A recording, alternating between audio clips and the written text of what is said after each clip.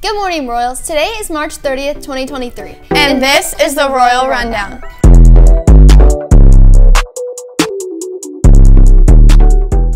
My name is Samantha. And I'm Tessa. Now on to our school news. Student Council is currently collecting shoes. Clean out your closets, garages, and bedrooms and bring in your old shoes, cleats, sandals, boots, etc. We will have bins in the flag hallway as well inside door one for you to drop your shoes off for donations. Prom time is right around the corner.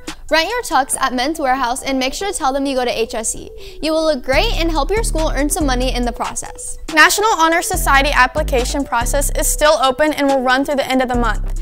If you're interested in applying for the 23-24 school year, please check out our new website. The application is under membership. Royals, we all hope you have a safe and fun spring break and we will see you all back after break. Now on to Camilla with our sports news. Hi Rose, I'm Camilla and here's your sports news. Today there is one boys varsity lacrosse game at Olentangy Liberty High School at 6 p.m. And that is all for your sports news.